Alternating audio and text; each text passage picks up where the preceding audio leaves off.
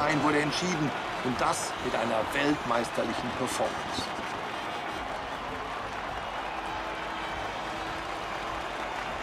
Stefan Römer, was denkst du, was hat heute den Unterschied gemacht? Ein zuverlässiges Auto war hier der wichtigste Faktor.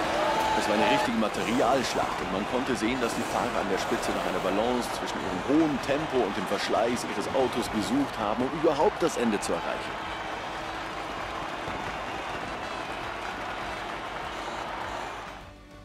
Mercedes ist wieder in Topform nach einem exzellenten Rennwochenende. Es ist großartig, das Team wieder einmal auf dem Podest zu sehen.